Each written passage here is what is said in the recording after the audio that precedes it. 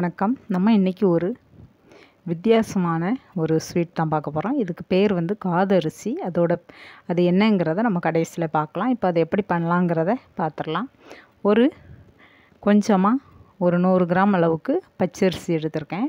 அதுக்கு வெல்லம் கரைச்சி எடுத்திருக்கேன். தேங்காவை துண்டு துண்டாக கட் பண்ணி வச்சுருக்கேன். அப்புறம் பாசி பருப்பு எடுத்திருக்கேன்.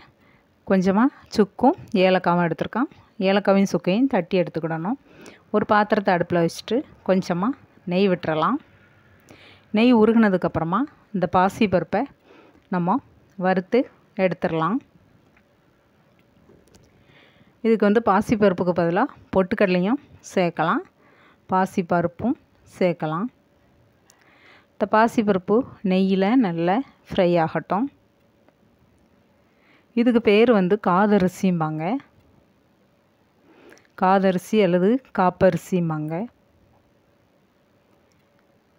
இது இப்போ நல்ல வறுத்தாச்சு. இப்போ தேங்காவையும் போட்டு நல்லா வறுத்த எடுத்துடலாம். அதே நெய்யில்.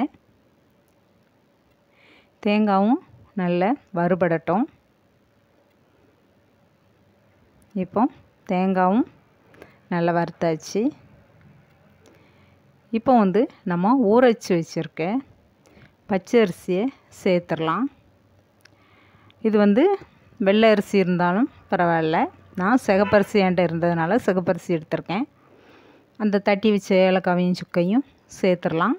நம்ம கரைச்சி வச்சுருக்க வெள்ளத்தையும் சேர்த்துடலாம். இனிப்பு வந்து நம்மளோட இஷ்டம்தான்.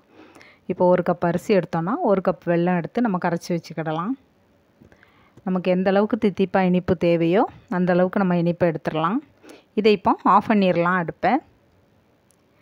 நம்ம ஆஃப் பண்ணிவிட்டு நல்லா கிளறி விட்டுறலாம்.